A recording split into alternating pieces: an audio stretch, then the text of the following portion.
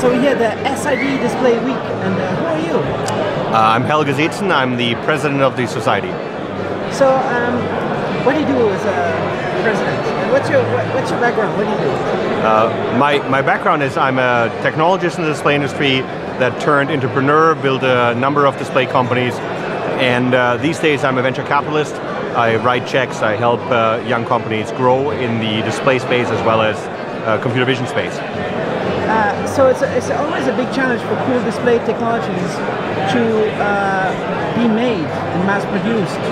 And it's, all, uh, it always has to do with like cash, right? Uh, or the investments. Yep. And this is why LCD got huge because I guess the story is some, some people in Asia thought it was a good idea. They invested a lot of money and then it became number one, right? Yeah, I mean, so there's always the combination of a market need and capital to bring it to market. And so the, the market need really in the 90s was uh, uh, flat panel displays, laptops. laptops and then mobile phones and so forth. And so LCD technology is actually celebrating its 50th anniversary uh, this year. We're having a celebration year.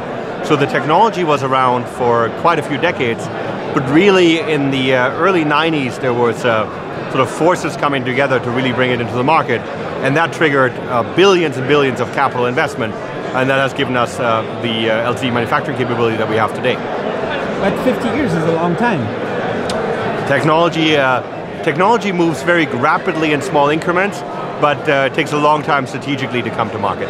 I myself, uh, it's a bit of an anniversary for me, so my, uh, uh, the first company I built was around a technology uh, that is today called HDR, High Dynamic Range, which you might very well be filming in. Um, and uh, we, uh, we showed uh, 15 years ago in 2003, we showed the first uh, local dimming LED HDR display uh, here at Display Week. Uh, and 15 years later, it's now an established standard.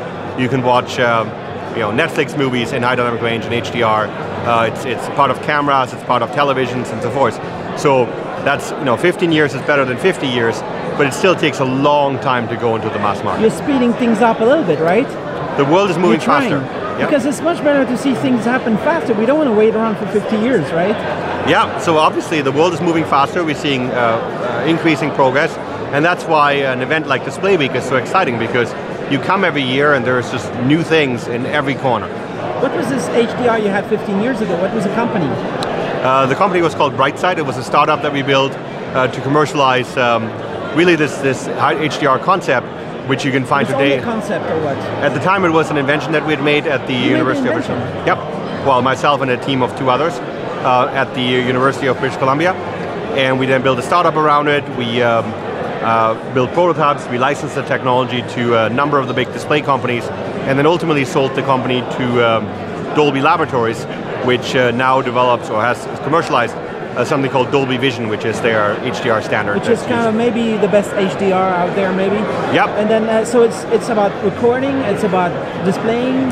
Correct. So we had a, a full pipeline of technologies, from uh, camera technologies that captures HDR content to um, uh, video storage and transmission, so a, a, standard which is the Dolby Vision uh, transfer standard these days, uh, to a display technology that the display industry these days calls LED TV or local dimming TV, um, which is uh, still the most common display technology in the world. If you walk into a store, uh, that's the kind of display you most likely are going to find. The most likely HDR you see out there. So yep. local dimming, how many how many local localities are there? How much dimming can you do in one so, of these So that, that varies uh, tremendously from manufacturers. In 2013, the first display, the first local dimming display in the world that we showed uh, had uh, 2,000 individual elements. 2003, you say? 2000. 2000, uh, yeah, we showed it in 2003. Yeah. We showed it here at display. That 2000. That 2,000 elements, which was um, a phenomenal display, but it was financially utterly not doable. And so when we started licensing technology to manufacturers, they started with uh, 64 elements, then 128, and then 250, and, and so it, it sort of gradually grew as the economics became more affordable.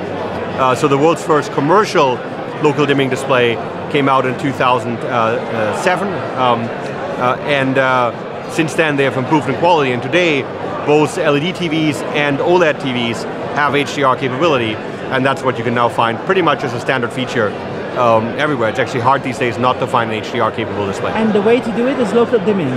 Correct. For, for LCDs, local dimming is the way to do it. For there's, OLED... There's no other things you need No, no. For Just local dimming? You need, you need a signal that has high dynamic range content but the actual, which is the Dolby Vision or HDR10 standards. Um, and then for uh, the display side, you basically need uh, local dimming if it's an LCD, or if it's an OLED, it's natively HDR, but that's a different story. So it's not like a whole brightness of the backlight is not all the same? no, they're It's like individually regulated clustered. Yeah. In That- uh, many different uh, intensities? correct. That's how you get the high contrast. So if you want Like to show thousands of intensities or something? Correct. Yeah. So the, the LEDs are analog, so they have usually quite a wide range of, of intensity levels that you control over. All right. Cool. So this event is going to be interesting. Now there's going to be some speeches, some awards. Uh, my speech, And, uh, actually. Your so so I have to I have to open the event. Right.